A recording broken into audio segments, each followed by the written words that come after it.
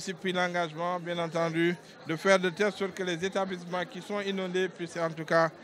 être, euh, l'eau puisse être évacuée. Et nous avons pour cela acheté, commandé pour 5 millions de francs CFA des pompes, des motopompes pour, essayer de pomper toutes ces écoles,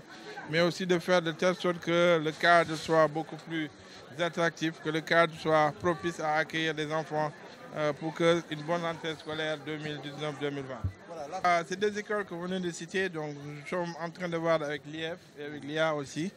euh, comment, parce qu'il y a une de ces écoles qui n'est plus beaucoup vraiment fréquentée, nous allons faire de telle sorte que, en tout cas, concentrer nos efforts sur une des écoles et peut-être aller vers la fermeture définitive d'une de, ces écoles, ou alors faire de telle sorte que,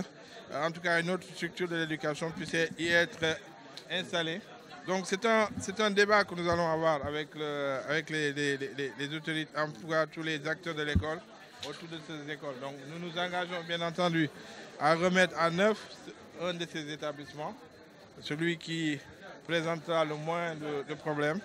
Et puis ensuite, euh, d'ailleurs nous avions eu euh, les, années passées nos partenaires de Sermon qui étaient venus et qui nous avaient promis aussi de faire de telle sorte que les cas de, salles de classe soient réhabilités. Et toujours, la question est revenue autour de, ces deux écoles.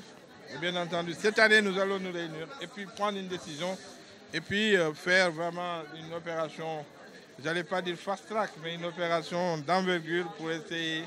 de faire de telle sorte que cette école retrouve euh, le liste dans son liste d'antan.